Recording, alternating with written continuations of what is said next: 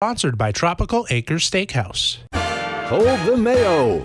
It's time for Mike Mayo's Lunchbox. Find out what's being served with Mike Defo and Luby, the only show that covers food, sports, and the proper maintenance of your car. And now, a man who had the distinction of having an entire health clinic named in his honor, Mike Mayo.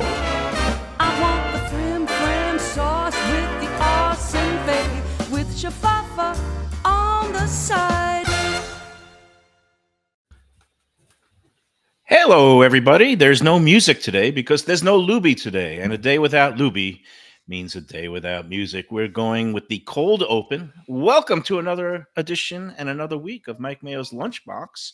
Kind of just doesn't seem the same without Luby or the Oliver Twist theme music, Food, Glorious Food, but uh, we are more than happy to have in his stead. And uh, Jeff Defoot DeForest, we have, as usual, Carlos Frias is joining us uh, for another visit to the lunchbox. Uh, of I course, can do you a know- I can do a human beatbox if you need some music. yeah, you I can, do that. You Sure, want to do go that? ahead. No, all Uh, right. yeah. I maybe maybe I'll close the show that way. And uh, Mike Lubitz is in the Dominican Republic. And how about this for a shocking upset, Jeff Defo DeForest? There's been no major uh, calamities that, uh, or uh, neither earthquakes, hurricanes, or any other natural disasters that have befallen that country while uh, Luby and Shirley are visiting. That's that's quite the shock, right? Well, I mean, he uh, found Sammy Sosa right away at the airport. Uh, turns out he's an airport greeter now. That, that's a big surprise. And since then, I, I guess Sammy's a good luck charm because uh, nothing catastrophic has happened while Luby's been in attendance in another country. Well, that's all well and good. Um, meanwhile, Carlos Frias, a man who needs no he needs no introduction the world But, over. The great Jimmy Lennon uh, Sr. used to say that. Former Miami Herald food editor, two time winner of the James Beard Award for his uh, prolific and insightful writing. And Wait a yes, minute, he has two beards. yeah, he's got two beards. He's the bearded. You, uh, you, you were in on a bearded man. Pulitzer though at one time. I, I guess I've won you in some category. share of some Yeah. awards, but I've never won a beard award. And yes, I am completely jealous. I'm filled Yeah. with um, just nothing but uh, I, I, I covet the man's awards. What can I say? Uh, but Listen, there was a year that that you beat me out for uh, a, a food writing award, and I was second. I was second fiddle to you, and I was and I Uh, was right. uh, I was seething with jealousy, but also very happy for you because you're a good guy. So He, thanks. Well, he was gunning for me just the same way that Iron Eagle has been gunning for Jim Nantz, and uh, man, he did. Both of them did a good job. And uh, Nantz at the Masters, that's where he shines. And Iron Eagle, what'd you think of his whole performance on the NCAAs? There, Defo, that's your buddy, right? Your Syracuse. Oh, brilliant! alum. Yeah, no, the guy's great. Uh, you know, i it's so weird because he, he doesn't look like uh, he would have the kind of personality that he displays when when he's on uh, certain talk shows. I, I I don't know that he always uh, does this, but uh, he, he's been great with us over the years. It's only a matter of time. You, you'll hear the Masters music, da, da, da, and uh, you'll hear uh, Iron Eagle saying, "Hello, friends." And there'll be a chalk outline of Jim Nantz somewhere around 16. But uh, no, he, he's definitely a coming star if he wasn't there already. And number two team in the NFL, and only a matter of time before he's number one in everything. Well, Carlos is like us, uh, Defo. He also has a sports background. I Yes. think he first came up at the Sentinel as like an intern. Is that do I have that correct? And I think I was already there on staff, and I was in such a uh, fog back then. I, I never came into the office, but I, I do remember Carlos was there for a stretch. Is that right? Do I have it? yeah, I was I was an intern in 1996, uh, and the the staff included you were the columnist, the sports columnist at the time. Uh, Hyde. Hyde was there, of course. Rachel Alexander was the the hockey writer, was the the Panthers writer. Dave Hyde obviously is is an Right. institution, uh, so he was there, and uh, Jason Cole, throwback throwback name, Jason Cole. He still does that- the Defo morning show very uh, ok- uh, uh, frequently. No, nobody played the internet game better than Jason Cole. Yeah, he, he- Fred- he was and a Fred Neil Turner was O'Donnell of free agents uh, when it came to uh, th- this uh, whole new media ride that uh, is taking place. But uh, yeah, he, he's always getting the best new job that's available. It's It's incredible. fantastic. I would say Fred Turner was a fantastic sports editor. He's the guy that gave me my first my first break. God Uh, bless I- his soul. It's been Yeah. 13 years since he's Fred Turner. departed. Yeah, we love Fred. God, could he spot talent or what? That's the guy who discovered Mitch Albom, uh, Gene Wojciechowski, uh, Bill Plaschke, uh, of course, Dave Hyde. Uh, About guys- Steve Hummer, remember that Steve guy? Hummer? Steve Oh man, he to was one of the greats fame, in Atlanta. yes. Then afterwards, Yeah. yeah, He always wore the uh, Joe Paterno flood pants, though. Do you remember that about Steve Hummer? I Anybody don't ever remember. comment uh, on that around the office? No, It I was don't a little short. that. So it's funny you mentioned Rachel Alexander. Of course, now Rachel Nichols, a huge star of uh, the small screen in terms of sports journalism. And uh, we won't mention that back then we were having a a torrid under the rug. Uh, now we were dating at the time. Wow, that's it. Wow, I guess we I guess we are going to mention that. You know, There, I- there were pictures of uh, Rachel with a young Mayo. I- I- quite impressive, I, I would have to say, Carlos. yeah, wow, I she was- had mayo on the side. Okay, Oh, now. right. uh, good In one. the little So- packets, of course. like, you know. I go in the penalty box for that. And I get five minutes for Yeah. that one. uh, but anyway, she is uh, very, very talented and has risen to great heights. Whereas here I am on the lunchbox, viewed by dozens of people. Okay, so uh, More lot to get prestigious show, though, than uh, and, and plus she's a human kiss of death. Every NBA player she interviews uh, ends up going into the tank, uh, needing surgery. Oh no, It's absolutely the truth. I mean, uh, she sits Oh, down with these guys. They end up. uh, They may as well retire right on the spot. It's over saying the human jinx. It's like the Yes. SI cover. Uh, through jinx. no fault of her own. I'm sure a very lovely young lady inside and out, but uh, nonetheless, uh, human kiss of death. You, you don't want to Storm sit down with this gather. one on one. Yeah, one of the most talented and uh, knowledgeable sports journalists out there today. Hardest Absolutely. working again. Uh, Carlos is hard. I like that Mayo comes up with the cleanup disclaimer whenever we condemn somebody as being a Hey, kiss you know. I'm a gentleman. I always got. Oh yeah, very talented. um, speaking of things we shouldn't mention, I just look. All I'm going to say is that Carlos has been in the news, not just covering the news. Oh yeah, um, wow. because uh, you know he was at a uh, local radio station that uh, where he no longer is. And uh, look, I'm all I'm going to say is this: because under the advice of his attorney, he shouldn't comment on it. I don't want to ask him about it. All I know is this: Jeff Defo DeForest, speaking as one who knows, Yes. it's much better to be a plaintiff in a civil case than a defendant in a federal criminal case. Uh, not that anybody here would would know about that, right? What what what would uh, what what happened? I mean, I'm curious about this. What radio I, I mean, station? I mean, uh, Google exists. I was Yes. last employed. I was last in- employed by Just- WLRN. Yeah, for, yeah, for- it's just for all you got to do WLRN. is Google Carlos Frias and NPR station or WLRN, much in the same way. They you can- people at WLRN. It's just let's it's not public radio. it's- It's like getting canned from Radio Marti. What are we? All I'm going to about say is this, Carlos. It, you can be as recommend as many uh, Latin South American restaurants as you want. You could break into Spanish and speak full Spanish if you want. Sometimes me and Defo go full Yiddish here, and, and it's great when you don't have uh, any bosses or oversight. Uh, it's good. You can't get Muchas canceled, gracias, señores. so That's it. Estoy contento Uh, de estar aquí con ustedes, That's con el it. gran Mike Mayo y el gran Defo, conocido por, por todo sur- el sur de la Florida.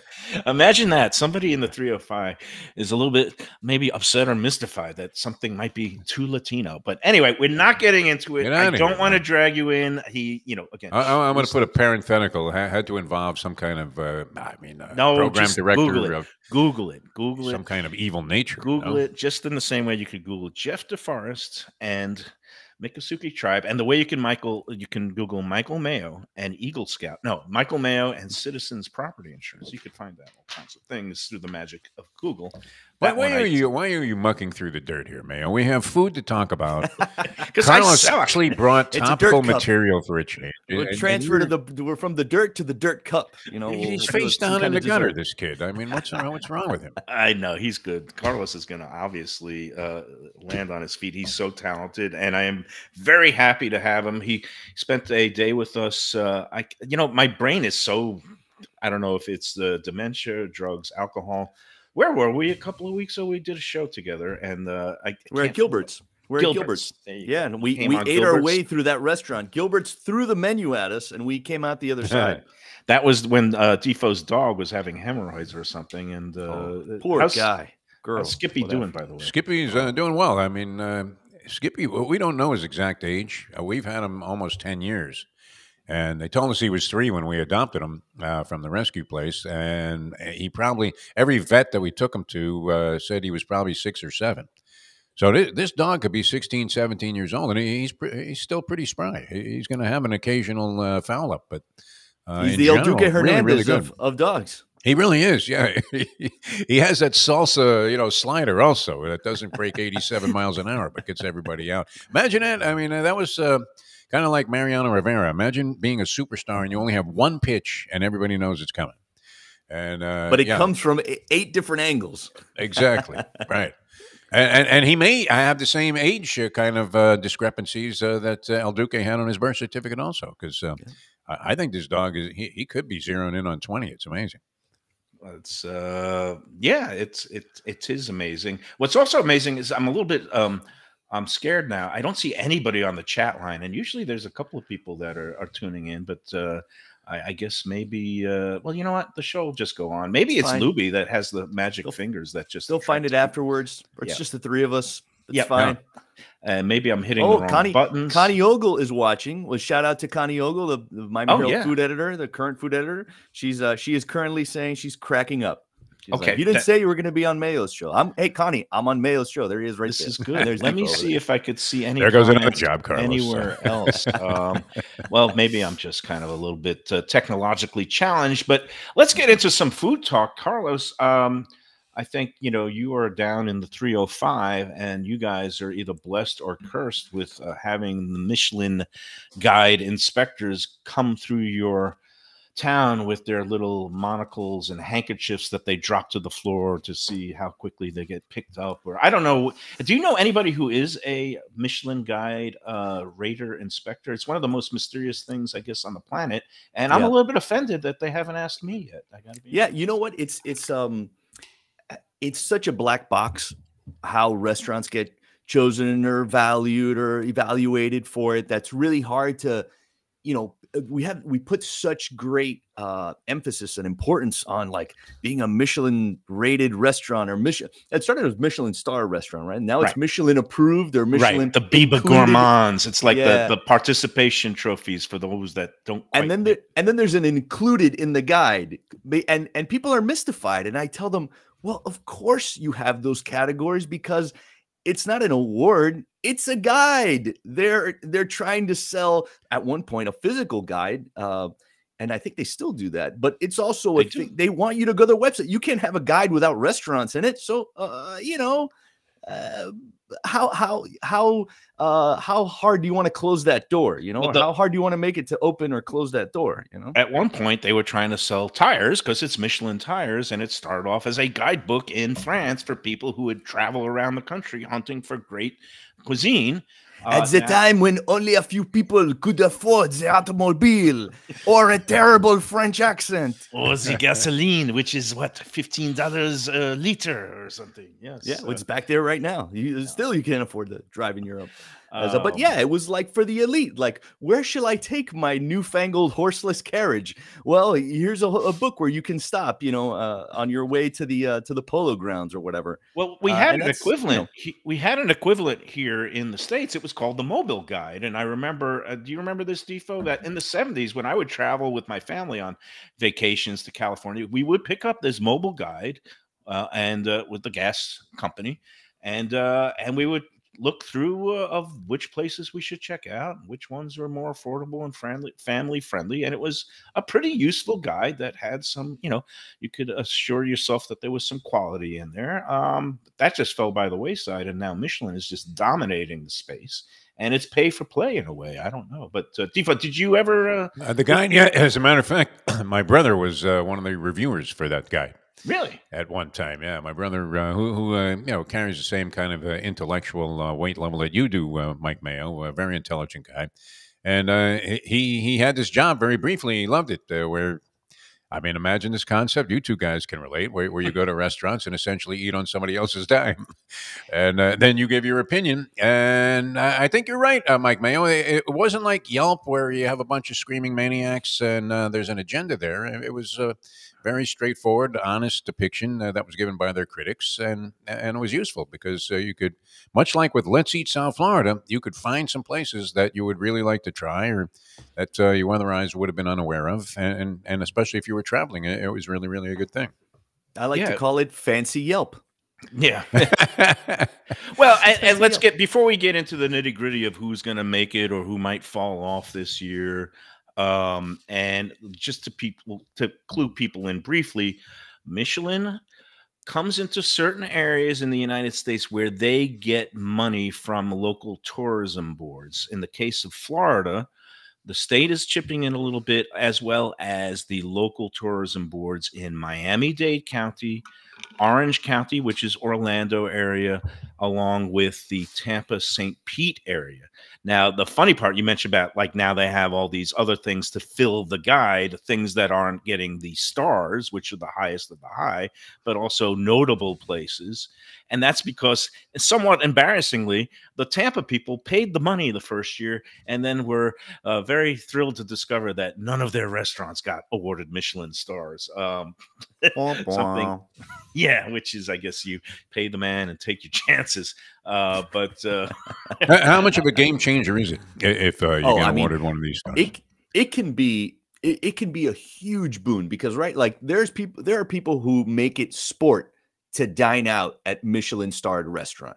so So go around the get- world, like yeah. all over the world. Yeah. So being on that guide is, uh, I mean, restaurateurs will tell you that they look at the receipts before and after, and they can see it. So in that sense, it's a huge advertising push. I think I think the danger comes when you start, you know, start believing your own hype, you know, uh, about what it means in the grand scheme. Like you have to keep everything in, you know, kind of in perspective. Was your restaurant good before, you know, or, or wasn't it? You know, is it only after a star that you feel, you know, uh, um, kind of uh, uh, proven right by, by what you're doing.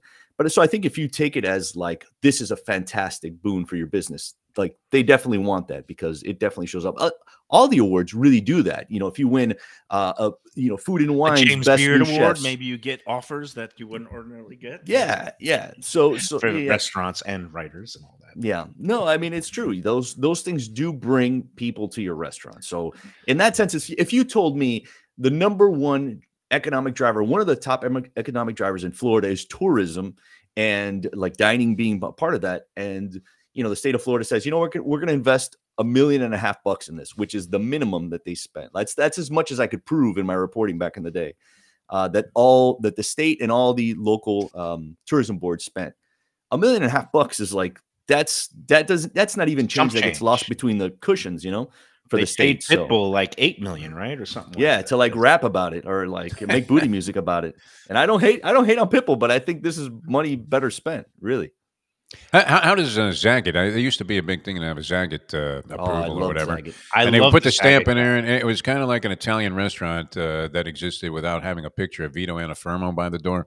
Because uh, th- this Zagat thing, uh, you know, it kind of stamped you as being legitimate. Uh, i- is that still uh, of a critical nature in the restaurant game? It's faded I- away. Yeah. Well, you know who owns it now is uh, the Infatuation. Uh, If you've seen that website, the Infatuation, uh, our buddy down here, Ryan Pfeffer, is the Miami guy. He's a And, great uh, writer, by the way. He reminds me of myself when it comes to reviews.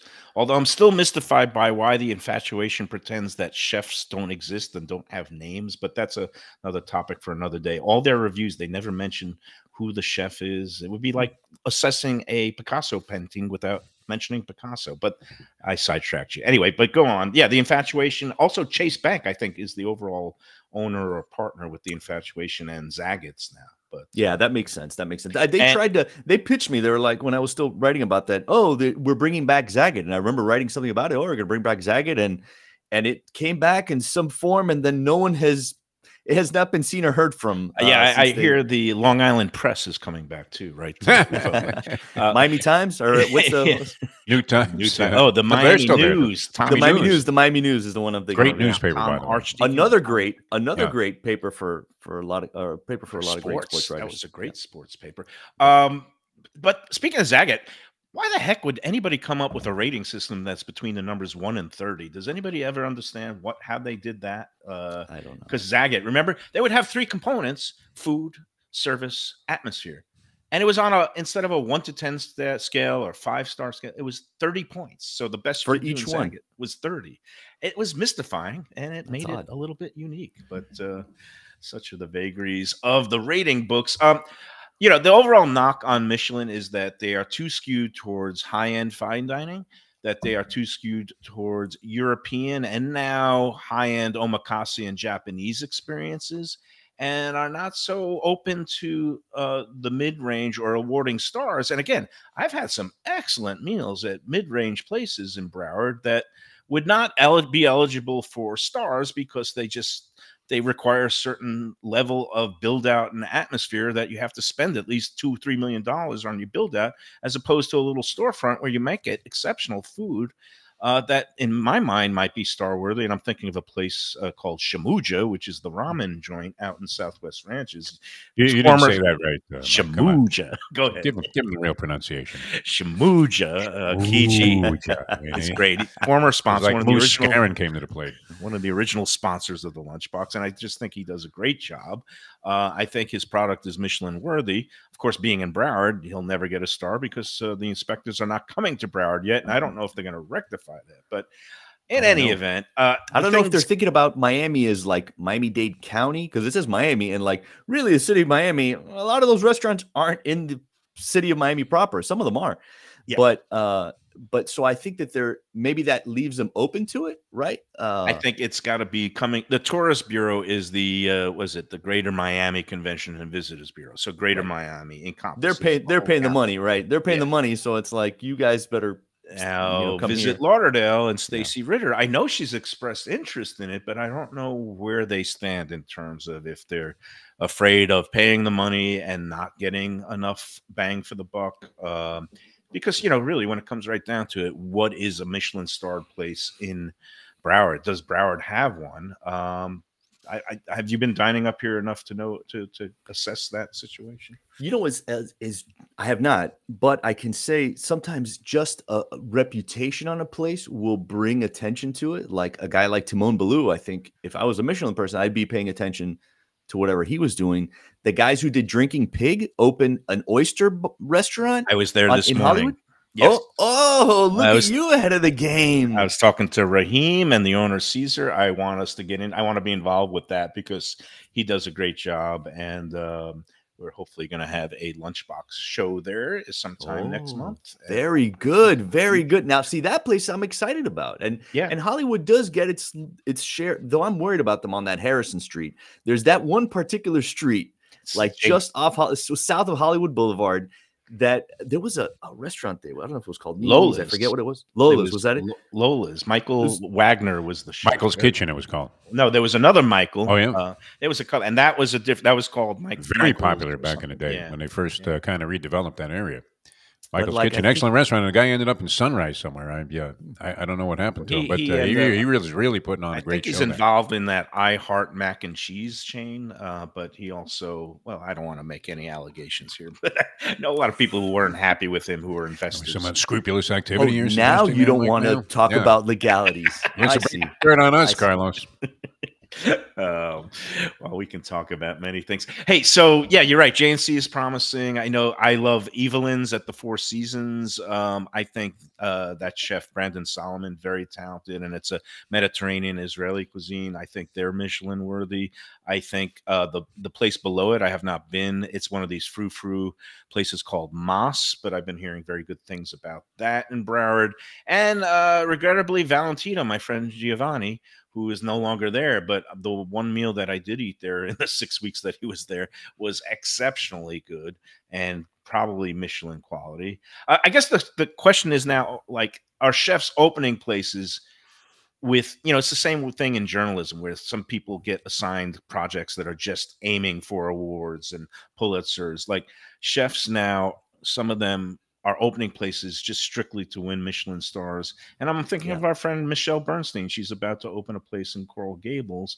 And from some of the food that i sampled at her preview dinner at uh, the hard rock in the fall it seemed like she was going for michelin type dishes. Um, is that a danger for chefs I mean, anything's a trap, right? Like how many how many editors do you know in journalism that say we're gonna win a Pulitzer this year and we're gonna look for the story that we're gonna pour all our resources into? I mean, I think anytime you make an award, you create an incentive to want to win it. Um, I I don't I, I think Michelle Bernstein is. I'm not gonna. I, I think she's above that. I think she's Okay. above that. I think that she's think maybe a queen. I- Is anybody above it? I mean, every year I wrote in mind of like knocking you off the pedestal and winning a James Beard Writing Award, but uh, I don't know. It's something in the resume. She's won the Beard Award. Why wouldn't she want to try to get a She's Michelin such a star? she's such a big star though you know Right, She why do you need it? shows and i don't I, yeah i mean maybe but I, I think that if she opens a restaurant of the caliber that even the original Michy's was, uh, I think that's an instant one star restaurant. Seeing what the other that. ones are, I think it's an instant one star restaurant. Like even her, the restaurant that she that she doesn't cone. She's technically her husband cones it. The La, La Trova Mhm. Cafe uh, on on Yeah, Calle Ocho, it's like one of those- Martinez. Yes. yeah. No, the new place is, is a is a Senora Martinez. Okay, which is named after his mom, I guess, because he's Martinez. But so that the food at that bar has no business being as good as it is. Oh, like okay. it it doesn't have to be that great because the drinks are great and they put on they have you know a live band that comes on and plays old Cuban classics at La Trova, and then the food is just it's it's exactly as I- good. I've never as it been in be. there. I, I feel so ashamed. Maybe I Oh, gotta you have to. I want to get in there at some point. It a Thursday night. Go Yeah. on a Thursday night because that's when they start live music, and it has you haven't gotten the the insanity of like Friday night and also happy hour. Their happy hour is actually really good. So if you get in like in happy hour tail end, you'll catch some of the music. You'll have some food, you have some drinks, and then you can catch them when they crank up the music at seven. Uh, and it's like it's really cool.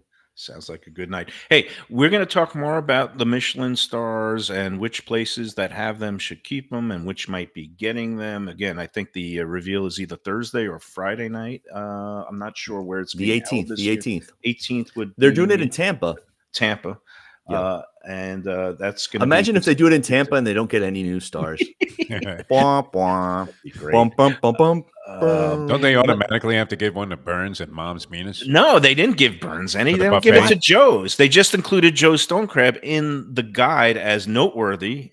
And I think that's mm. wrong. I think Joe Stonecrab, for what it does, the it, it deserves to be a one star place because I think is- at least, at least that. Well, not at least. I think one star is appropriate for that place one because star it's is what it's a internationally renowned icon that is unique. There's no other restaurant in the world that has made its bones on just one dish, stone crab, Right. but they have other things and just it is quintessential you know South Florida Miami experience that you have to go to Miami Beach to Joe's, smear your way past the maitre d's. It's always at the end, never the beginning, and uh and Is get that why I ended up by the men's room? that's it. I gave the guy 20 when I walked in. This is 40 years ago. And It's an uh, you know, insult. next thing you know, I'm listening to the toilet flush all night. insult. You You, know- have to. There's a system in place. my cousin Felipe. Uh, he um, uh, one of the partners is is uh, has like an in with the maitre d, and he's and he got him you know seated. So when he when he shows up, he's like, I have to make sure to tip the ma- the the captain Right. well because it's going to reflect on the senior partner. So it's like he's not just tipping the guy; he's tipping he's tipping to make sure that his His that his partner keeps his connection. Yeah, good regard. And I, you know, I was cued into the ways early when I was just a, a Cubs sports writer, uh, but I was schooled on you don't go to the main maitre d at the time it was Roy who had his little toy poodle. Uh, he ended up working at uh, the uh, steakhouse across the street, uh, uh, Smith and Wollensky's. But you would go off to the side, and first I would see Dennis, rest in peace. He became head metro d at one point, but you would see Dennis, talk to him a little bit, and then on the way out, surreptitiously slip him. And for me, it was always ten dollars a head. If I went with a four top, it was forty dollars. This was back 25 years ago. That's run, that's real money. But uh, yeah, always on the way out, always with the just very, very uh, surreptitious handshake. Uh, I love Joe's. I think it belongs as a one star, but uh, I, think so, doubt too. that it'll get the recognition. All right, hey, uh, I got to talk about a place that I think should be a bib gourmand if the Michelin star guide ever came to Broward, and that is place that's near and dear to my heart. Tropical Acres Steakhouse. It's a Tropical Acres Tuesday, and that means half price wine night. Go into Tropical Acres tonight and get yourself a beautiful bottle of wine for half price. That's lower than you get it in some of the discount liquor stores around town. And better yet, go in there during the happy hour, 4:30 to 6:30. You get half price cocktails in the bar, $8 Belvedere martinis. Can't beat that. Some of the great light bites uh, on the happy hour menu for reasonable prices. And then if you want, you just sashay your way into the main dining room to get that beautiful prime rib or filet mignon or some of the great seafood that they have. Uh, and don't forget, Mother's Day is coming up before you know it. It's, it's Sunday, May 12th. They will be open that Sunday, 1 to 8 p.m. Give them a call, Tropical Acres 954 989 2500 for your reservations now for Mother's Day or any day. Except the usual Sundays. They're open Monday through Saturday during the week. They're celebrating their 75th anniversary this month. Go in there, have a cocktail, raise a glass, and say, Cheers, salute cent'anni to our friends, the Studialis at Tropical Acres. Tell them the lunchbox sent you. On the iconic front, I mean, they deserve a Michelin star, don't they? 75 years. And uh, still doing uh, everything right. Uh, and you know, when I go in there on the half price wine night, I actually end up ordering like a case of Sonoma-Cutrer because it's uh, saving me money in the long run, uh, bringing half of the, uh, bringing uh, all of those bottles home. All right, we're coming back with more. Uh, it's a pleasure, an honor, really needing no introduction the world over. You were right. Carlos Frias uh, with us here from the Miami Herald, uh, outstanding food critic. and back with more of Mike Mayo's Lunchbox in a moment. Food from a scratch kitchen, delicious drinks and house-made spirits from a craft bar, a great vibe inside and out with a spacious patio. I'm talking about Batch New Southern Kitchen and Tap, Fort Lauderdale, in the heart of the city at 525 North Federal Highway. It's open seven days for lunch, dinner, and weekend brunch with classics like fried chicken and waffles and shrimp and grits, and creative items like pecan crusted salmon and a fried green tomato BLT. And the drinks? Smooth sipping and so good. There's convenient free parking and a garage next door, happy hour at the bar, an entire patio, 4 to 7 Monday to Friday, and live music every Wednesday, Thursday, and Friday. It's pet and people friendly and with cozy fire pits for when the temperature dips. For reservations and more information, go to batchsouthernkitchen.com. Hey, it's Mayo here for Delaware Chicken Farm and Seafood Market. Since 1951, over 70 years, the home of freshness. I've been a customer for over three decades, and it's the place to go for poultry, steaks, meats, and of course, their unbelievable selection of fish and seafood. They've got it all Key West pink shrimp, grouper, snapper, lobster, and of course, Florida stone crab claws of all sizes. Don't forget their famous fish dip and a full selection of prepared foods. It's located at 4191 North State Road 7 in Hollywood, just across from the Seminole Classic Casino. Doug Carter and crew will take great care of you. Make sure to check out their weekly specials and daily catch online at DelawareChicken.com. Quality, value, freshness, that's the Delaware way. Tell them Mike Mayo and the Lunchbox sent you. If you like seafood in a comfortable setting, outdoors, even keel fish shack at the corner of A1A and Commercial Boulevard in Lauderdale by the Sea, and also now with a new location on Las Olas Boulevard. Those are my spots. Upscale food in a down home setting. The chef owners, Dave and Brad, do a terrific job with all the seafood classics that you want. They have the best grilled oysters in town, bang bang shrimp, lobster rolls, and daily fish specials. They also have weekend brunch Saturday and Sunday. They have daily happy hour 4 to 7, and they also have other weekly specials like mussels on Monday and oysters on Tuesday. Go to Even Keel Fish Shack and tell them that the lunchbox sent you. All right, we're back on the lunchbox. No music today. We are the low, no frills, stripped down version. Um, but uh, hopefully, uh, well, the the Luby's having a great time in the Dominican Republic, and we will be back. We will see him again on Thursday at Delaware Seafood Market. That's going to be a fun show. We're going to see uh, if. Uh, well, let me ask Carlos Frias this before we get back into the Michelin star uh, discussion. Um, Jeff Defo DeForest, scarred from youth uh, as his Brooklyn childhood, he refuses to eat gefilte fish ever again. Uh, have you ever gone to a Passover Seder and have you eaten gefilte fish or chopped liver, Carlos Frias? I have been at a Seder. I have not had gefilte fish. Uh, I've had the you know- chopped liver, but I have not had the gefilte fish. Do you know what gefilte fish is? Uh, it's like a kind of like a preserved, like a codish, kind of like a, pr- like a bacalao type of thing. It's it's a mystery fish. It's just It's they take carp. all the it? scraps. It's like they take Carp. some They carp. catch it out of, in like dirty lakes. I think it's Ah, carp. yeah. I think sometimes they blend a couple of other things. It's like the hot dogs of uh the Seder of of a, Oh. of Jewish food. It's like you don't really want to know what's in there, but if you kind of get it and it's uh, nicely prepared, and you put that great jelly on top and some of the purple horseradish. It's got to be the red horseradish, never the white. Uh, And you put it on a piece of matzah. Mm, that is some living right there. I mean, It- you it- didn't it's really the- sell it on the hot dog of fish, Yeah. but but but It- you it's came the back. gel at the bottom of the jar, though, Carlos. I mean, is that not the ultimate turnoff? When this thing just has this ugly gel, like something you pulled out of the refrigerator that's been in there for like two years and has a little growth coming out of it. It, uh, you know, that was enough to alienate me. Alienate me, and my mother was a huge advocate of this stuff. So All I know is around all the time. We're going to our great sponsors at Delaware on Thursday. They make their own house-made gefilte fish, which let me tell you, it's like night and day. It's so it would almost be worth a try uh, for Um, me. Even. It's it tastes like a, a vibrant, fresh thing, and not something that's been sitting in a jar collecting dust for two years.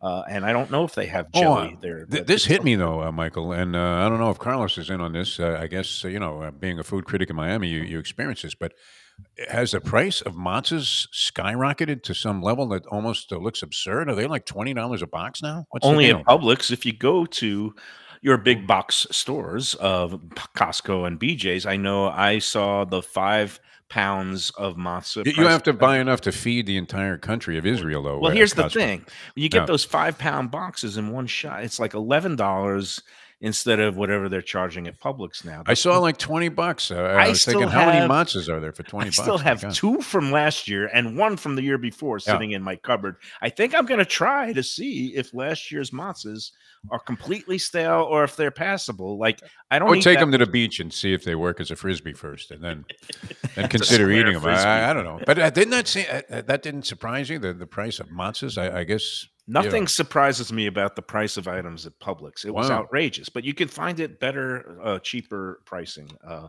at other places. Again, first night of Passover coming up. Uh, it's uh, next Monday, the twenty second is the first night. It's first Seder night, so we'll be uh, celebrating and uh, getting ready uh, Thursday at Delaware. All right, back. So is is is is gefilte fish like? Uh, I'm thinking of like pig's feet. I'm glad you won't like, let this go because pigs- uh, yeah, 'cause I was gonna say, like, discussion. I, I think so too, uh, because like I'm not I'm not aware of it, so I want to hear more about it. But like pig's feet for me as a kid, my dad loved it, and I was I was re- repelled, repulsed by it. I mean, now I've come to appreciate it.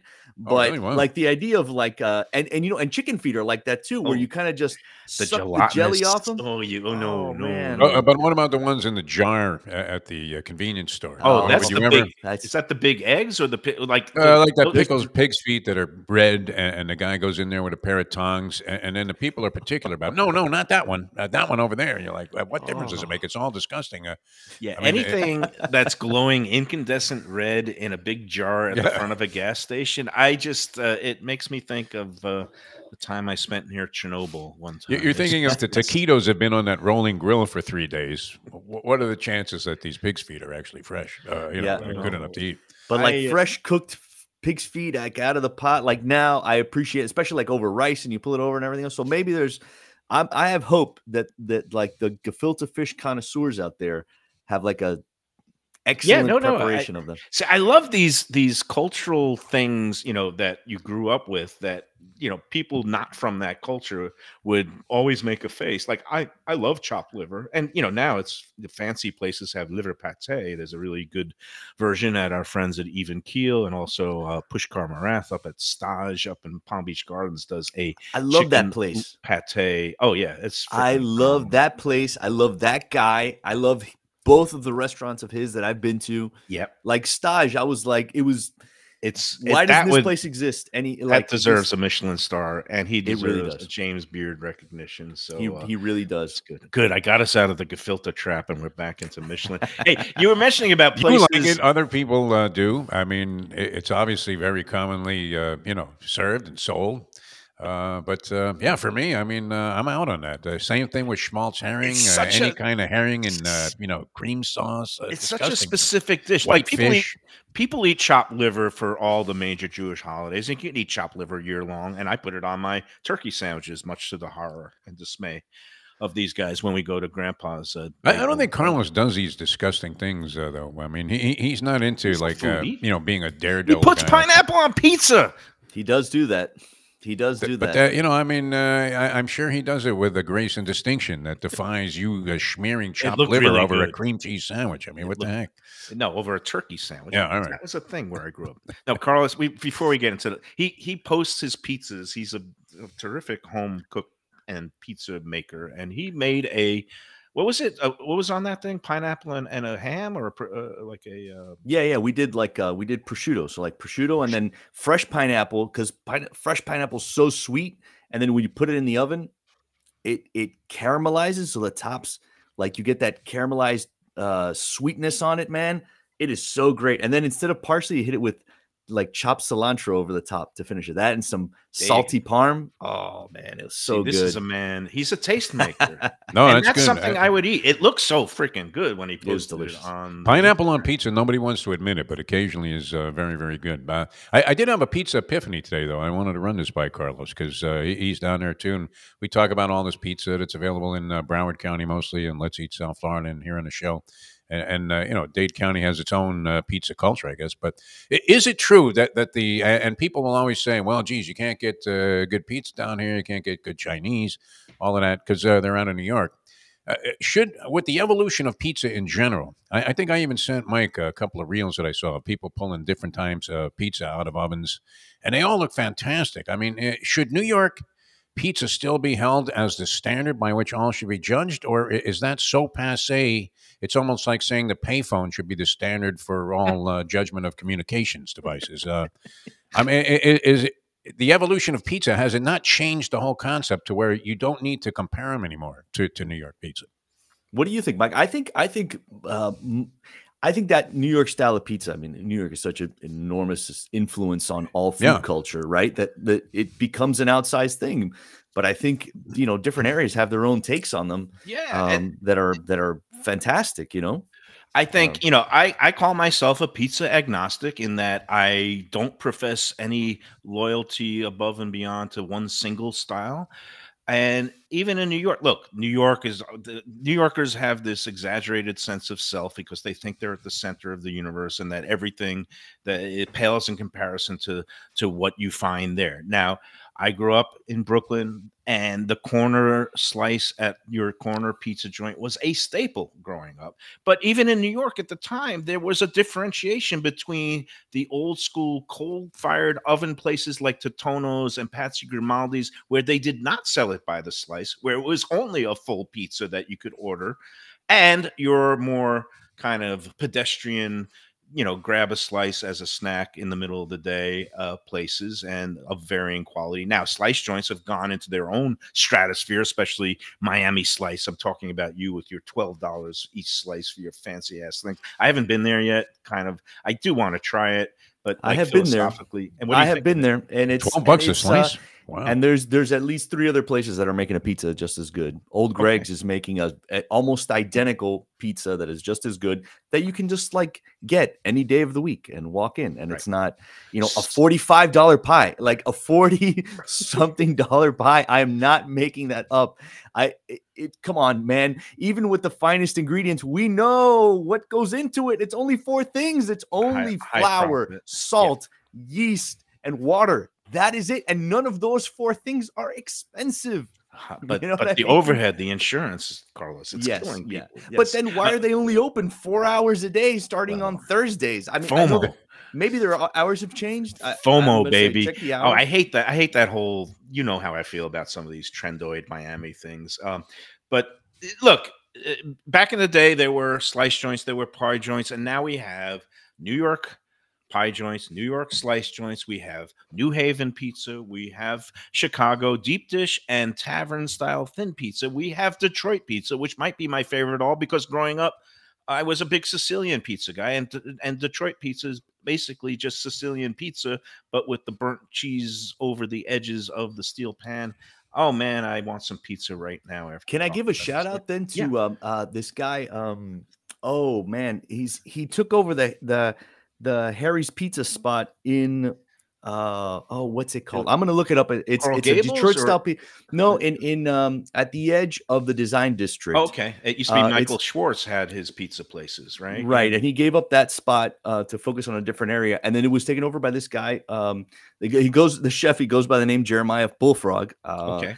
And, and but he makes he's I, I don't know if he's from detroit but he was like a personal chef to like rick ross and whatever and he makes a really delicious um detroit style pizza with like lots of red sauce on it Yeah, Like, it's a very saucy on pizza. top of the cheese. Yeah, yeah. really del- really delicious really good job um And I give a another shout- kind of I got to and give another a shout. one of those great spots i'm sorry i was going to Uh, say my uh, vice vice city pizza which is way out in kendall but if you're in that area it's a fantastic square pizza Square style. Okay. yeah. And then, of course, I'd like to give a shout out to uh, my friends Death by Pizza in Delray Beach.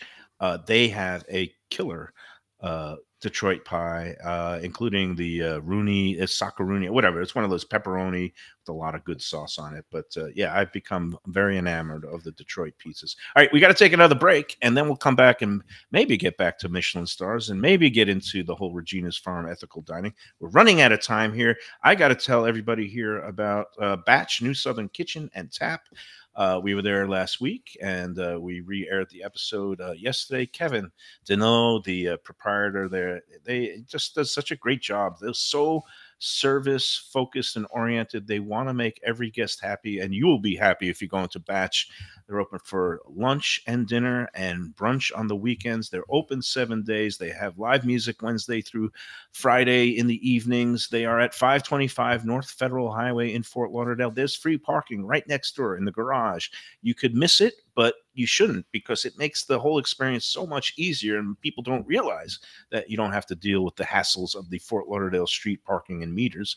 Go in there, uh, batch. Uh, they will take great care of you. They have, oh man, uh, the uh, jambalaya. What'd you think of that there, Defo? I, I was great. I, you know what? I had it. Uh, it was such a large portion that uh, even though I uh, ate my uh, significant share there, probably lasted me another three, four days of uh, snacking on, and, it was delicious. Uh, absolutely fantastic. The food there is great, uh, and, a wide variety. Uh, really a terrific place. And Kevin just does a great job. I'm a big fan of his. Yeah, going to batch uh, on Wednesdays. They have whiskey Wednesdays, and they also have these kind of great uh, classes to learn more about the arts of bourbon and whiskey. They have so many varieties there. They make their own flavored whiskeys in house. That great the uh, pecan infused uh, uh, bourbon that they use in that great drink that I always drink. Those sours, the pecan whiskey sour. I love batch. You will too. Go check it out and tell them the lunchbox sent you. Very knowledgeable and friendly staff there. I mean, uh, it sounds like a cliche, but they, they really are helpful in terms of explaining all the different varieties of things that, that they serve there. And, uh, you know, it, it's very diversified. Uh, you know, you think of Southern Kitchen and you're thinking a certain type of food, but um, uh, all kinds of different things that are absolutely scrumptious. All right, coming back with more. Uh, pleasure having Carlos Frias uh, on today's uh, edition of Mike Mayo's Lunchbox. Back in a moment.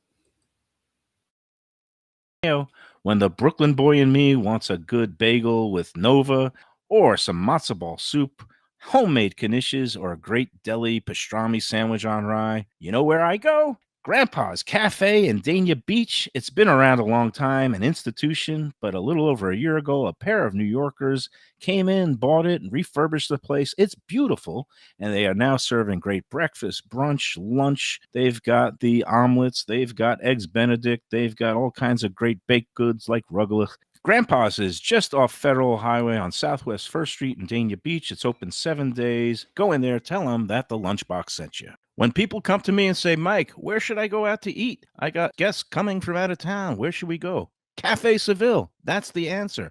2768 East Oakland Park Boulevard. It's a Fort Lauderdale perennial, serving the finest in Spanish and continental cuisine in a cozy, friendly, comfortable setting.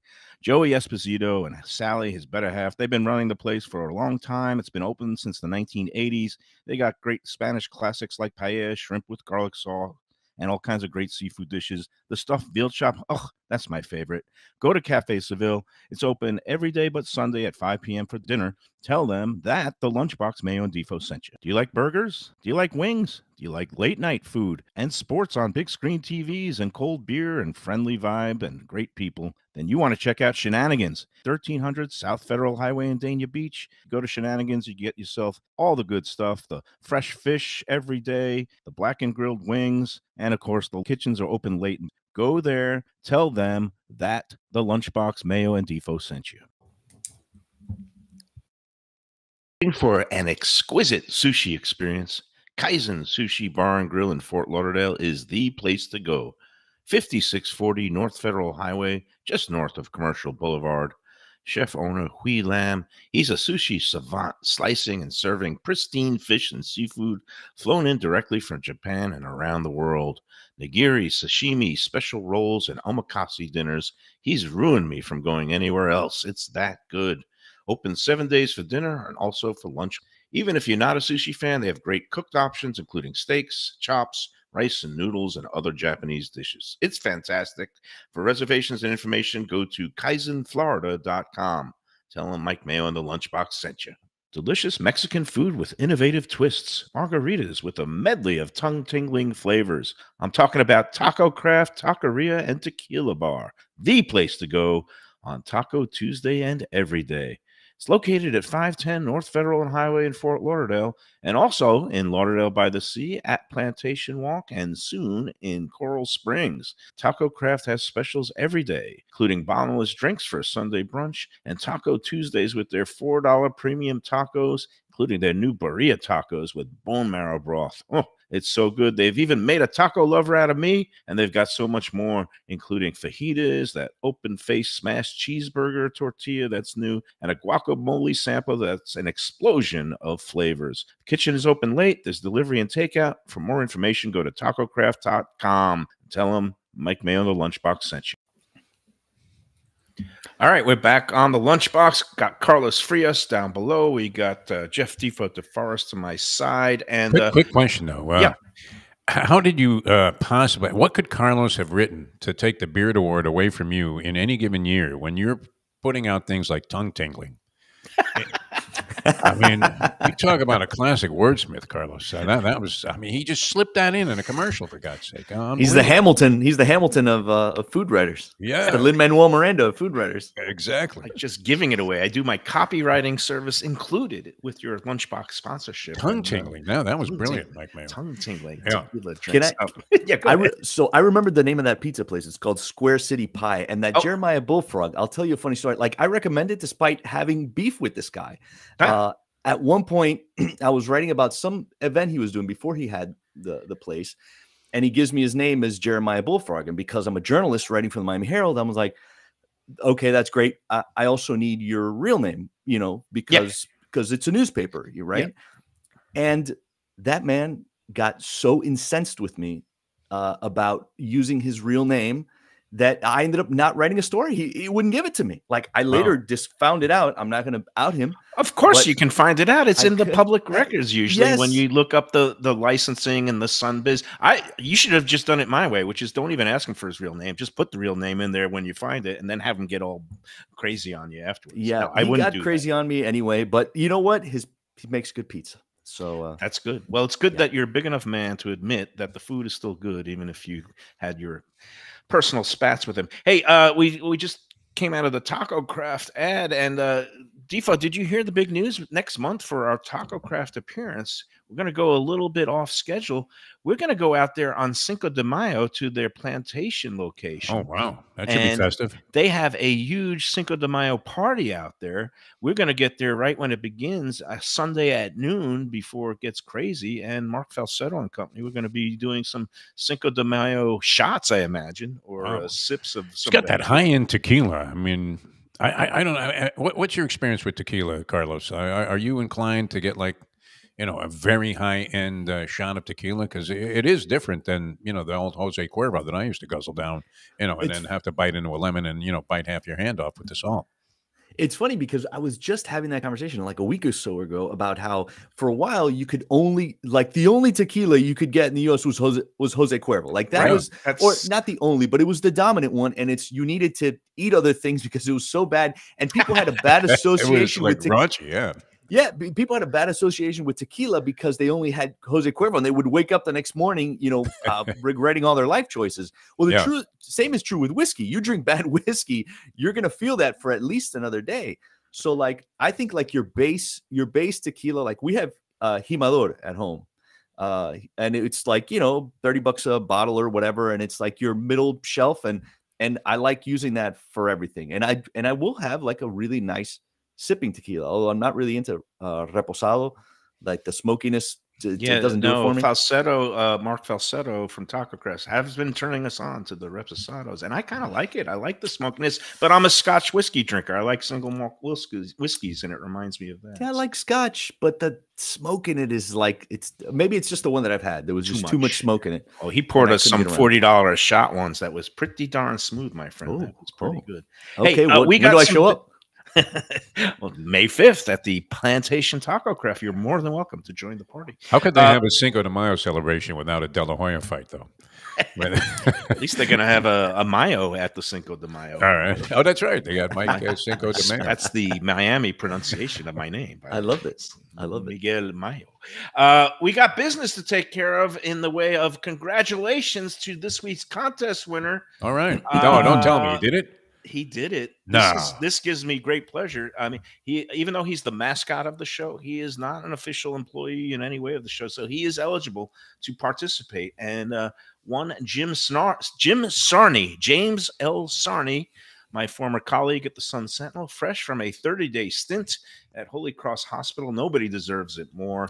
Congratulations, Jim! You won this week's Lunchbox 10 Palms contest. The way he did it, this was a tricky one, uh, Defo uh, because you know how it works is first you got to give the name of the restaurant. It was an easy one. It was Texas Roadhouse. Our friends at Texas Roadhouse. Scramble the word Texas. You get taxes, which was tax day was yesterday. It was a stretch, but hey, I've done that before. It was for most people. Yes. Uh, then came the tricky part. The winner of the contest race at Gulfstream, the tenth race on Saturday. You got that too? No, nobody got that. Oh, it was a 16 to 1 shot, number seven, scat to tap. You're Uh, telling me our audience is nothing but chalk players? There was a lot of chalk uh, going Yeah. going down. But give props to Sarni because there was only two people that got the second place horse, and that it was also a long shot. I think it was a 10 to 1 shot. Number six, Sentenza. Do you know Right. what Sentenza means? Is that a, a, a given name or is that? I thought it was a character in Godfather 2. That's Clemenza. Watch out for Sentenza. Number six, Sentenzo was the second place horse. Two people had number six, so they went to the third tiebreaker. Is this too complicated for anybody out there? I don't think Carlos has any idea what you're talking about, but he's, he's gracious enough to act like this uh, makes sense. So the third tiebreaker was give me the winner of the Masters and the winning margin. Well, a lot of people did pick Scotty Scheffler to win, but none of those had the correct horse. In order to advance to the third tiebreaker, you got to get to the second tiebreaker. So the it then came down to the two people who had the six horse Sarni and somebody else. Sarni picked It- that it's like you're trying to explain the NHL playoff format now. Yeah, I was gonna say, is this I mean, a, who, who is the this hell is in this? it's a three two three format with the uh, with the horse thing. racing? is there a All right, Sarni took on? the Swedish guy Aberg, and his uh, the other one who had uh, who was in the running took uh, DeChambeau, and so basically it was a match uh, Oh, wow. competition, and Aberg finished way ahead of DeChambeau. Aberg was the runner up, so that's a pretty good pick from Sarni there since it came in on Friday. Congratulations, Jim Sarni. You and a guest have won an all expense Sunday brunch uh, package at Fabulous 10 Palms at Gulfstream. All right. if um, you want to ruin his time, just suggest that. Uh, and I had him incensed yesterday because I like to kind of irritate him now because he sends me all these texts about uh, you know the women's uh, NIT and things like that that I should be covering this on our shows. And uh, I, I had him going uh, by implying in Hank Goldberg fashion that uh, this was a bush league town when it came to sports. That none of the stuff that he considers important really matters here, and I, I can't tell you the thread of texts here is uh, is, is very you- contentious. Are you trying to put him back in the hospital? First of all, do you think Venomous string of texts. you think Sarni had a, a like a chalkboard with every WNBA potential draftee and was Uh, following? my mock draft was ruined when they took Caitlin Clark number one. Who would have anticipated Who would have that? Wait, can we just Um, say like I I was watching the NBA draft, the WNBA, WNBA draft. draft. That's incredible. Yeah. For how and long? I'm, and I'm Yeah. watching for for the entirety of it. I was at No. Flanagan's, like eating some food and like watch. And there was the that in the Marlins game. And let me tell you, it was more entertaining than the Marlins game. Marlins Um, game has been great though because uh, we bet the under on a recommendation of a friend of ours uh, under the season total of 78 and a hook. So the Marlins now have to play like 600 baseball the rest of the way to even come close, and uh, we know that's not happening. You could It's run to the windows Yeah. and cash that ticket. The question about the Marlins, though, Defo and Carlos, is when are we going and buying some of those all-you-can-eat seats? Uh, not Why, eating. don't, why don't we try that? Should, shouldn't I- we apply for a freebie on that one, uh, Mike? I mean, I don't want a freebie. I'll pay the fifty-two bucks and just try to see how much I can do. It could make for a good uh, reel or something. you personally that. could be the one that finally, uh, you know, puts the nail in the coffin on the Marlins franchise by eating them out of Miami. How many hot dogs would it take to cause You bring Joey Chestnut with you for the four for 54 or whatever. Sherman and company. Mike's gonna beat the house on it Oh, for sure. Hey, um, look, before we go to the final break, I did want to get back to uh, Michelin. Is, is there anybody? I was really pleased when they first came out because a lot of what they ended up choosing aligned with what I think is the best in town, and a lot of it was happily skewed towards local chefs who are doing kind of Miami, you know, things as opposed to just outposts of famous brand names, you know, and those did make it, you know, they gave the nod to the uh what is it, the uh, um oh the guy, uh, the um why am I blanking on his name? The fancy French chef, the only one that has two stars in Oh, uh, the the late Joe Robuchon. Joël Robuchon, Le Atelier de Joël Robuchon. Sounds like a defenseman for the Panthers, and- doesn't it? yes, and uh, Thomas Here Keller's place, and and Coates or Cody or Greg Cody or however they pronounce the Korean barbecue, which by the way is excellent. But you know they did include places like Ariete and our friend Mike Belcher, who does great stuff, and they did include Boia De, which is one of my favorite spots. And you talk about how places react after getting the stars. I went back to Boia De a couple months ago. It is still great. It has not lost its kind of kind of cutting edge vibe. It's in a part of town you wouldn't expect, and they're just doing great things there. And the food is remained top level. So I'm glad that Boia De, um, you know, hasn't lost its way since getting you know crushed with the you know a lot of people come in every night, which is a great thing for those. Yeah, they open they open a second place, something called Walrus Rodeo, whatever that is. It's, And I went there and I ate the whole menu with the Phil and Kate from the Fort Lauderdale, the Greater, Fort, Greater, what do we call it? Visit Lauderdale Food Wine Festival. We we went in there and there was some really good dishes and there was some, yeah, but uh, but at least they're still innovating and do things. But uh, what do you think? Okay, Carlos, what do you think is going to be in the running? Is anything going to drop? Just real quickly before we get out of here. And actually, we got to do a final break too. So I think there's a there's a restaurant by the the, the only restaurant right now by the Changs, the Chang family that had itamae, uh, is called Maty's, M A T Y Yep. apostrophe S, and that's you know that chef has been on all the lists and everything else, and that What was their have not been original- to it. the place was inside the food hall there. The uh, It was called Itamae. Itamae. That's right. Itamae. yes. It was in the food hall, then just outside the food hall, and now uh, it's now going it's to reopen. Maite, Maites, which Ma- is also pres- it, Maddie's. Maddie's. like Maddie's. Okay. And you, get, you, call, you got to call them the Chang Gang. I think that's Matis, uh, the Chang required by law. You have to call them the Chang Gang. Yeah. Father, daughter, and son are all um, uh, great, great chefs, and they originally from Peru and do. Yeah, and Niven Patel has a new place called Erba, which is kind of like Italian. Uh, there's some Italian influences along with his like Indian cooking, and I think that that place uh, will probably it, that should be on the list. I think that place will probably be uh, will probably get a start unless it hasn't been open long enough. That might be the case too. Although the Michelin recently gave a uh, like a nod, like a recommendation to a place that is that was closed, that had been closed for days, at if not longer, uh, on their list, and it's still there. It's still on their list. It just says temporarily closed. Which And one? I'm telling you, they've already. It's called Pez, Pez, Okay. P-E-Z, and it's already had a It had the drinking pig pop up inside of it, and that has closed, so that so you know that uh, restaurant Raheem- hasn't been there. That, yeah. that place hasn't been there in two I got, s- iterations. so I got some news. Um, first of all, Raheem says hello to you when I when he heard that I was going to be uh, having you on the Oh, show today. him. Raheem Sealy, the very talented chef who was behind the Drinking Pig pop up barbecue. Some good news. I mean, I'm going to just let it out of the bag. They're looking. He's looking. Besides opening this JNC Oyster on Harrison Street in Hollywood, they're looking to put a Drinking Pig brick and mortar on the same street and have him run both. Um, they are actively That look- is huge. That Yeah. is huge. these are the nuggets that you get, Jeff Defo DeForest, only on the lunchbox. So um, this is why if you are want to be, It's like know- scooping out the inside of a bagel, man. You got the scoop on everything. um, so uh, Raheem says hello and Wow. mentioning places that Shout uh, you know that are in guides but are no longer open. That brings me to uh, it was kind of the curiosity. I've been watching the new season of Check Please South Florida. We had our good friend Kaizen Hui uh, was featured in the season opener with our friend Dr. Nick.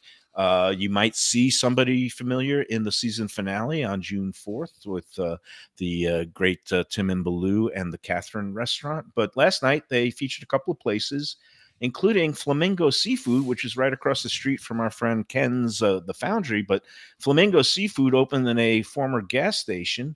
They spotlighted it last night. The only problem is it's been closed about two months, and uh, people have been texting me with various, uh, uh, I guess, theories about why the place went down. Um, but uh, uh, all I know is that it's not open, so it's kind of odd that they didn't either kind of remove that segment and fill it in with a repeat, or just mention that it's no longer open. But such are the vagaries of TV. All right, uh, I I'm gonna like shut have to up. put in you have to put in one phone call and just be like, "Hey, still open, right?" You know, what I mean? like I would okay, just always checking. I would usually do that before putting together my Mother's Day guide or whatever it was coming up. Yes. All right, let's take our last break and then we'll get out of here uh, on a extended edition overtime of the lunchbox after these words. For Gilbert's 17th Street Grill, you know me, I love family run places with quality food at fair prices served with passion and pride. And that's why I love Gilbert's. For more than a decade, Lenore, Beth, and Richie Gilbert have been serving up the best burgers, wings, ribs, salads, and desserts. It's a fast casual spot. Everything prepared fresh to order from an immaculate open kitchen. They're at 1821 Cordova Road in Fort Lauderdale in the Cordova shops just south of 17th Street. Open every day but Sunday. One of my favorite burgers in South Florida. Big, round, juicy pucks of 100% Angus beef, char grilled to perfection. And don't miss the sweet potato fries on the side. They're legendary. Go to Gilbert's, feast, and be happy. Tell them the lunchbox sent you. When I'm looking for some wicked good food for a wicked good lunch, there's only one place to go. That's Wicked Cheesesteaks in Fort Lauderdale. It's at 4824 North Federal Highway, just south of Commercial Boulevard and across from Holy Cross Hospital. My friend Brian there, he will hook you up with some really tasty treats. They've got cheesesteaks, just like the best you can find in Philly, along with lobster rolls, because that's where he's from, Maine originally. And they have wings and pizza and everything you want to have a really good time. Wicked Cheesesteaks, they're open every day but Tuesday. Check them out online, wickedcheesesteaks.com. Tell them the lunchbox sent you. If you're looking for a great place for steaks, seafood, and more, go to Tropical Acres Steakhouse and Butcher Shop. It's at 2500 Griffin Road in Dania, just west of I 95 in the airport. They've been there a long time, since 1949. That means they're doing something right. You'll get old school hospitality from the Studiale family, along with great value, for tremendous service. Of course, you could also go into the bar for happy hour every day, four to six, and they have great value all night long. Also, a butcher shop that's open every day from 10 a.m. to 6 p.m. except Sunday. The dining room is open every day at 4:30 except Sunday. Go to Tropical Acres. Tell them the lunchbox sent you. Fish, a sophisticated setting. I'm talking about Corvina Seafood Grill. It's at 110 Plaza Real South in Boca Raton, just south of Palmetto Park Road. It's the place to go for the freshest and local seafood and fish, some of it with a Peruvian twist like their great ceviches. It's open seven days for dinner. They also have happy hours seven days a week. You don't want to miss it. It's a great place. CorvinaBocaRaton.com for more information and reservations. Tell them the lunchbox sent you.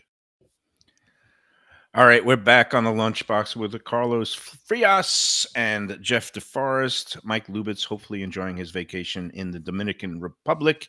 Uh, we're in overtime. Quickly, let's go to sports. Speaking of overtime, what do you think? Heat playing. Uh, when does it start? What's happening? Are they playing with fire once again? Because last year they Um, barely. they go on the road and uh, play Philadelphia tomorrow night. That'll be the uh, early game. Not an easy assignment. Embiid came back. He's like an animal now. So uh, that that went from uh, looking like a possibility to looking like a loss. And uh, then they would have to play uh, the winner of the uh, Chicago game against Atlanta. So very similar uh, in, in a sense to what we saw last year, where last year they lost to the Hawks in the first game and then had to beat Chicago after trailing late, and then made it all the way to the finals. But yeah, that gets underway. It gets underway tonight actually with two good West Coast matchups. Very difficult to predict. Got the Lakers in New Orleans uh, against the Pelicans uh, and uh, Golden State on the road against Sacramento. That's yeah, Golden State in the play, and that's uh, that's something. Uh, Carlos, do you have any thoughts on the Heat? Uh, yeah, I actually I was I was watching uh on the on the show uh, um was it uh Pablo Torre finds out Yeah. that he found the video of how they tried to pitch LeBron James to go to the Knicks and it's the the cringiest most embarrassing thing like I can imagine him going from that meeting where they got the Sopranos to like uh, they had Jim Gandolfini and Edie Falco read this terrible script like uh, convincing LeBron uh, that he should go come house shopping. And but it got me to thinking would you want do you think the Heat would ever be interested in bringing LeBron back to Miami if it meant drafting Bronny at 15, which is like a 15 number 15 draft pick isn't like a fantastic pick anyway. Wouldn't you draft Bronny at 15 and and get LeBron James back for the rest of his career? Hmm. I don't know. Do you think the kid's going to be as good as the father? I mean, Steph Curry. Obviously, his dad was No. Del Curry, and it was better than his father, an NBA player. And then again, we have the uh, instances of uh, Jack Nicklaus's kids, uh, and not one of them turned out to be uh, a golfer The bear. with a lick. So No. um, I don't know. I don't know where that leads. All I, I'm going on record though. Heat's not making it through the play-in. They're going to lose one of these. Uh, they're going to lose two games in a row. Uh, they're Wow. playing with fire, and they and and and not with uh, in a good way. Uh, I don't. I just don't have a good vibe about them. You know, they got lucky last year, and they came in as the number eight seed, and they went all the way to the finals. Uh, last year, can you believe it or not? The Panthers, same thing, eight seed, knock off the the President's Cup winners or whatever, a President Trophy winner, the Bruins in the first round, and they went all the way.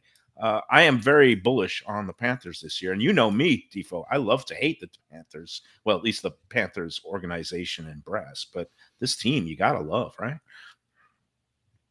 Do you do you love them or uh, Oh, like me? Oh, oh I, I got lost there. I thought you were signing I off. don't know what I'm doing Yeah, anymore. yeah, you're gone there, Mayo. I mean, uh, they're they're calling I- me. The, They're calling you. All right, you Yeah. can drop Defo. Uh, everybody else, Carlos, thank you so much for coming on. We didn't get to my discussion about uh, ethical eating, or um, if you go to a place and maybe you don't agree with everything, uh, that maybe uh, uh, all your money might not be going to places or causes that you agree with. Um, do you go? Do you not go? Do you just assess it by the food? But that's another topic for another day. We'll have plenty of other days ahead. But I do want to mention that. Uh, the place uh, that I wrote about on Let's Eat. It's called Regina's Farm. It's usually like a four year waiting list. It's uh, Saturdays only. They only do it 32 Saturdays a year because it's too hot in the summertime. It's a lovely setting in uh, Fort Lauderdale, kind of a rustic, uh, kind of a Brazilian farm atmosphere, home cooked meals. And I'm proud to be co hosting a special event that's going to be benefiting the George Snow Scholarship Fund in conjunction with our friends at Red Meat Lovers Club, Evan Garnell, and that's going to be April 27th. So you don't have to wait three or four years. You just only have to wait a couple of weeks. And yeah, is it cutting a line? Well, you know, it's like people go to Disney World and they buy the speed pass or whatever you call it. So uh, it's for a good cause. It's at premium pricing. So it's $165 to get in, but they have some extras like a open bar and a cigar bar and some extra meaty options, uh, some steaks and things that they don't usually have there. So if you want to get in uh, involved on that night, just go to redmeatloversclub.com or selflessdinner.com. That's selflessdinner.com.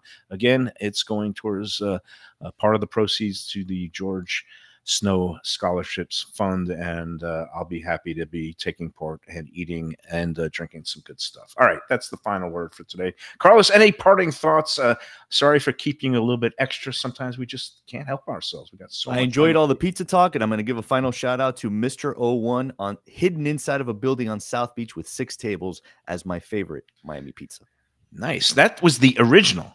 Now, what happened? He's gotten like some VC, you know, some equity, private equity money because these Mr. O1s are popping up all over the state. I've eaten them in one out in uh, like uh, Bonita Springs in the Naples area. right? and in other countries too. But I know that if you go to that one on South Beach every now and then, he's actually still there. if he's still making pies. pies, it's Yeah. extraordinary. The Yeah. ones I've had have been Mr. O1 average to uh, above average. Uh, Go to that spot. Go to Okay. that spot. The you original sometimes is uh is the original for a reason. Any parting thoughts, Jeff D. for the Forest? Good luck to everybody, all of you. That's it. All right, we're out of here. Thanks best. for tuning in. No music, but enjoy everything.